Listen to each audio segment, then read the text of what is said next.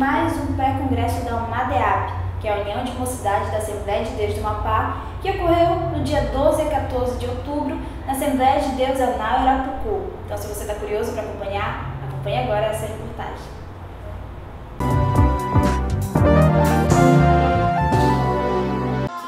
A paz do Senhor. Como todos nós sabemos, a equipe da UMADEAP está rodando os municípios realizando o pré-congresso da UMADEAP.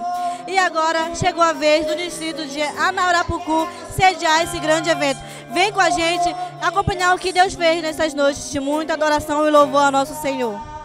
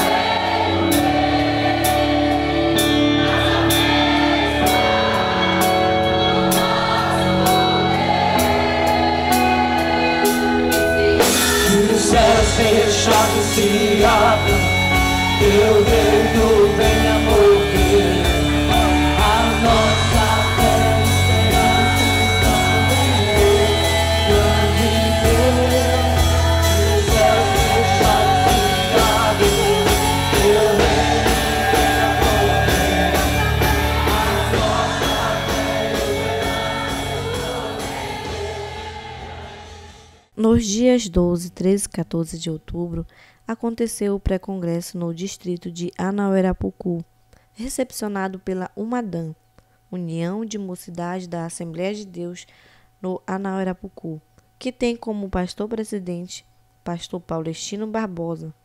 O pré-congresso contou com a presença de 250 jovens da localidade próximas, como Rio Preto, Maracá, Mazagão Velho, Carvão, Piquiazal, Piracunema e os jovens da Maná de Macapá. Foram três noites de muito poder, com participações especiais, cantora Fabíola Vasconcelos e o coral de jovens da UMADEAP.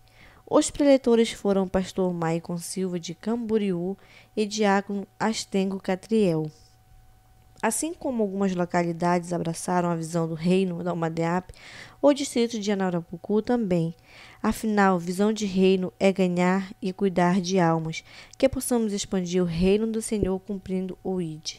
Daniel nasce numa família sacerdotal. Seus pais são crentes. A sua família é crente.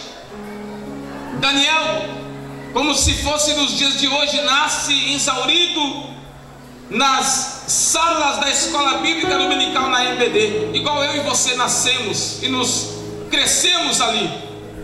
Daniel ouviu os conselhos, a lei, o Torá, o Bereshit, o Shema, o Vaikra, o Brahmi Devar e o Devarim, os cinco primeiros livros da Bíblia.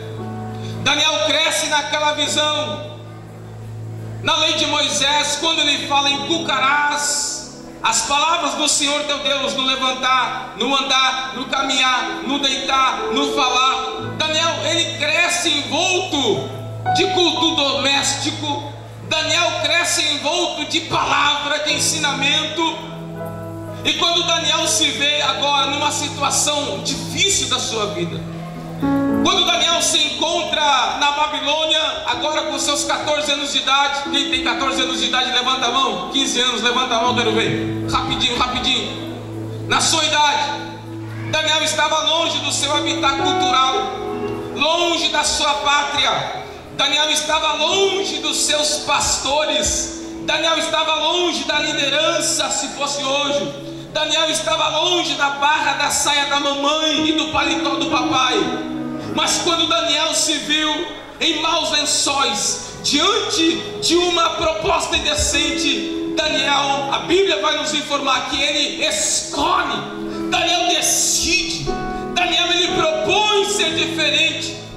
Daniel propõe manter a visão, a visão do reino, a visão que os seus pais lhe ensinaram, a visão que os seus pastores lhe ensinaram, a visão que a sua família lhe ensinou. Ao meu lado está o pastor Paulestino Barbosa, ele que é o pastor presidente daqui da Assembleia de Deus em Anaurapucu. Pastor, sabemos que toda festa, para a realização de toda festa, tem uma preparação antes, tanto espiritual, né? E eu queria saber um pouco do senhor, como foi que a igreja aqui em Anaurapucu se preparou para receber essa grande festa, que é um grande desafio, né? Primeiro foi em oração. Campanha de oração das 5 horas às 7 horas da manhã, meio-dia a uma hora da tarde, seis da tarde às sete da noite, e uma campanha que nós temos todos os dias à meia-noite. E dia de sábado também, de 10 à meia-noite e meia. Então a preparação maior foi espiritual mesmo, através da oração. É, como foi para o senhor aceitar esse desafio, né? De sediar aqui um dos pré-congressos da UMADEAP? Para nós foi eu posso dizer que foi fácil. Eu para nós aceitarmos o desafio porque nós já estamos acostumados com esse movimento desde quando Deus me trouxe para cá nove anos atrás. Nós sempre fazemos todos os anos a nossa festa e são todas as festas são esse tipo de movimento. É, quantas é, localidades estão participando aqui, daqui de próximo, né? Estão participando desse congresso? O Rio Preto veio um, alguns jovens de lá. O Maracá também veio alguns jovens de lá. Mazagão Velho também alguns jovens. E uma localidade aqui no Mazagão chamada Piracunema, também alguns jovens. Mas a maioria mesmo eles são daqui. Nós temos seis congregações e a igreja sede, e quatro dessas congregações são ribeirinhas. E esses jovens são uma bênção, eles vêm de catraio, de canoa, de barco, e duas congregações são no Riamache, que eles vêm também de moto, é, é, bike, até a pé mesmo. É, eu queria parabenizar né, pela linda festa. Foi tudo muito lindo. Que Deus continue abençoando o seu ministério, a sua vida e aqui a igreja em Anarapucu. Que Deus abençoe. Muito obrigado. Agradecemos a Deus e a vocês que vieram nos privilegiar com a presença de vocês muito obrigado mesmo de coração.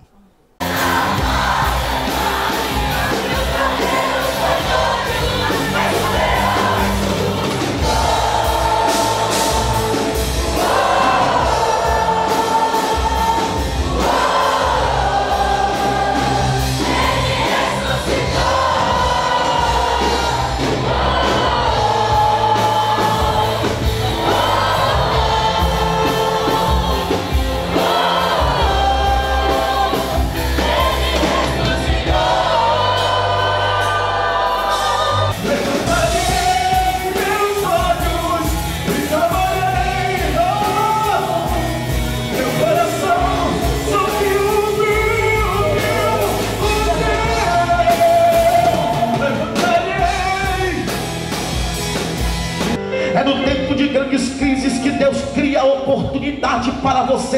levantado por Ele.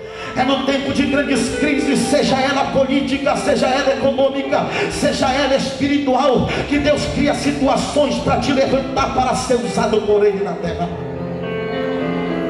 A Bíblia nos diz que durante 430 anos o povo de Israel vai viver dentro do Egito.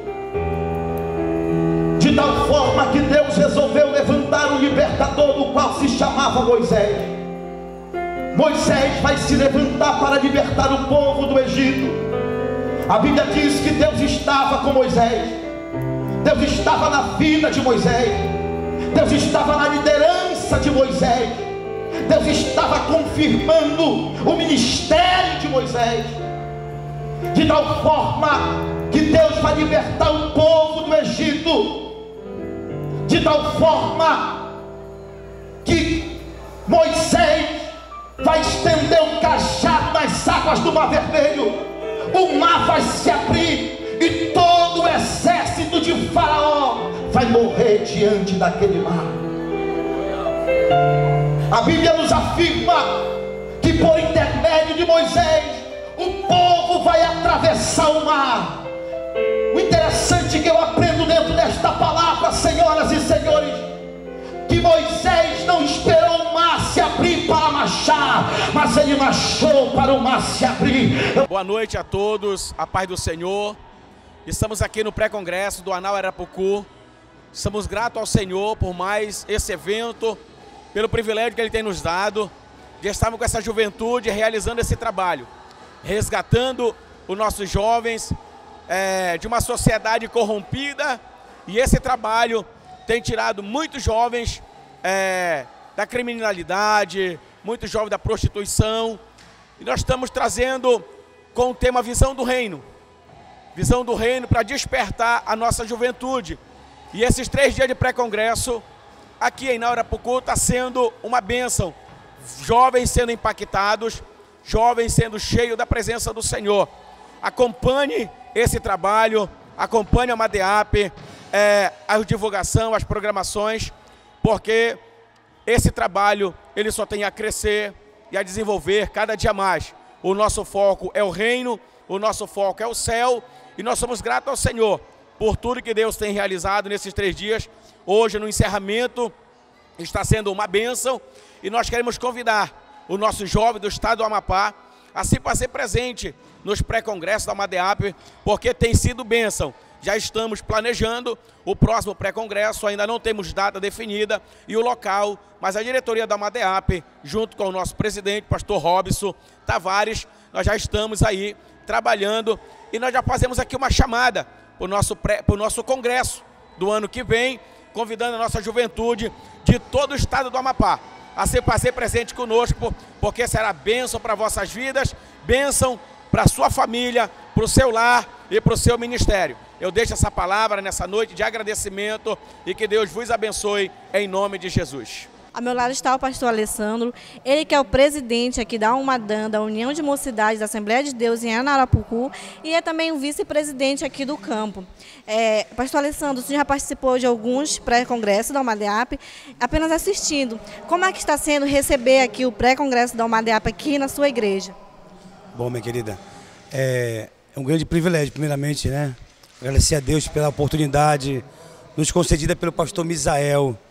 Ano passado, após nossa convenção, ele nos concedeu esse privilégio, nos colocou esse desafio, porque é um desafio, na verdade. Né? A gente sabe que participar das igrejas irmãs é muito bom, né? Estar lá participando com eles, estar com eles, cantando, louvando com a igreja é, das, dos municípios, das outras igrejas, outras mocidades, mas quando vamos receber para cá um grande desafio que nós abraçamos, junto com o meu pastor presidente aqui do local, o pastor Jorge Paulestino, e confiamos em Deus e foi tudo uma benção, sendo maravilhoso, só bênção para contar, com certeza. É, eu quero que o senhor deixe uma mensagem de agradecimento aqui à igreja, na Arapucu, né, que eu vi muito empenho de todos, né, eu queria que o senhor deixasse aqui uma mensagem de agradecimento a todos, né a todos os meus pares, os obreiros, a, o evangelista Edson, é, os presbíteros, que são muitos, não posso citar por nome, vai demorar muito, mas os presbíteros, diáconos, auxiliares, dirigentes de congregação que se empenharam no seu, é, dando o seu melhor possível a Deus. E tudo isso foi possível através da oração dos jovens, o empenho da igreja de um modo geral, todos, de crianças, adolescentes, a nosso pastor, todos se empenharam nessa empreitada que eu creio que tá sendo, tem sido bênção para o reino de Deus. Abraçamos essa, essa causa da visão de reino que muitos hoje têm perdido no século de hoje, têm se perdido essa visão de almas, de buscar o reino de Deus na sua é, completude. Mas eu creio que através desse movimento, temos unido as mocidades, né? Temos unido os líderes e muito mais. Temos alcançado almas para o Senhor. É, amém, né? Eu queria parabenizar, né, pela linda festa, tudo uma bênção, graças a Deus. Que Deus continue abençoando aqui a sua vida, a sua família e toda a igreja aqui em Ararapucu. Nós agradecemos as vossas presenças, tá? Aqui o impacto, marcando presença conosco. É sempre bom ter parceiros que ajudem a gente de coração. Obrigado pelo empenho de vocês, parabéns pelo trabalho também, ótimo trabalho que vocês realizam. E eu estou com uma galerinha muito especial aqui e eles têm um recado para dar para vocês.